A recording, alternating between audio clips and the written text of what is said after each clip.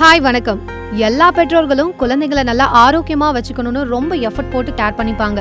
இது எல்லாருக்கும் தெரிஞ்ச விஷயம் தான் பட் நம்மள ஆரோக்கியமா வச்சுக்காம பெற்றெடுத்த குழந்தைக்கு சத்தான உணவு கொடுக்கணும்னு தின டைம் எடுத்து கேர் பண்றதுக்கு முதல்ல நம்மள ஆரோக்கியமா வச்சு ஆரோக்கியமான குழந்தைய பெற்றெடுப்பதற்கான டிப்ஸ் தான் நான் சொல்ல போறேன். ஒரு தாய் கருத்தரிப்பதற்கு முன்பாகவே ஆரோக்கியத்துடன் இருந்தால்தான் பிறக்கும் குழந்தையும் ஆரோக்கியமா பிறக்கும். மாதவிலக்கு காலத்துல கருப்புழுந்து கருங்குருவ அரிசி நல்லெண்ணெய் முட்டை ஆகியவற்றை சாப்பிடுங்க. மாதவிலக்கு காலத்துல இரண்டு அல்லது மூன்று நாட்கள் கட்டாயம் ஓய்வெடுக்கணும். அதாவது குறைந்தது பதினெட்டு மணி நேரமாவது ஓய்வெடுக்கணும். கட்டாயமா புகை மது போன்ற பழக்கங்கள் தம்பதியர் இருவருமே தவிர்க்க வேண்டியது அவசியம். புகை மதுவால் ஆரோக்கியமான குழந்தை பிறப்பதில் சிக்கல் தான் ஆரோக்கியமான கருத்தரிப்பிற்கு உடற்பயிற்சி அவசியம். உடற்பயிற்சியால தான் உடல் இயக்கங்கள் சீராகும் கருத்தரிக்கவும் உதவும். சில ஆய்வுகளில் கூட அதிகமாக காஃபி குடிப்பதால் குழந்தையின்மை தன்மை உருவாவதாக சொல்லப்படுது. பால் சேர்க்காத சுக்கு காப்பி இஞ்சி டீ புதினா டீ இப்படி வீட்ல தயாரித்து குடிக்கலாம். அது மட்டும் இல்லாம வீட்டை சுத்தப்படுத்தும் கெமிக்கல்கள் கதிர்வீச்சுகள் அதிகம் உள்ள இடம். அதாவது டிட்டர்ஜென்ட் பூச்சிக்கொல்லி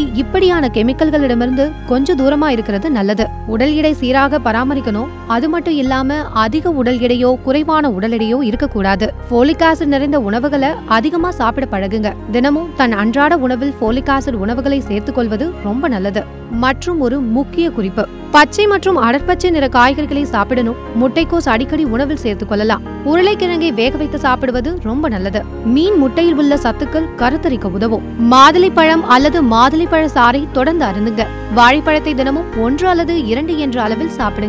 அதுவும் செவ்வாழை பழத்தை சாப்பிடுவது மிகவும் நல்லது. பூசணி விதைகளை சாப்பிடுவது மட்டுமல்லாமல் ஆலி விதையை மோரில் அடித்து குடிக்கலாம். பூண்டு இஞ்சியை உணவில் சேர்த்துக் கொள்ளுங்க. இந்த விஷயத்த ரெகுலரா ட்ரை பண்ணி பாத்தீங்கன்னா கண்டிப்பா இதுக்கான பலனை பெறலாம். மேலும் இது போன்ற டிப்ஸ் தெரிஞ்சுக்க சத்யம் டிவியோட யூடியூப் சேனலை சப்ஸ்கிரைப் பண்ணுங்க.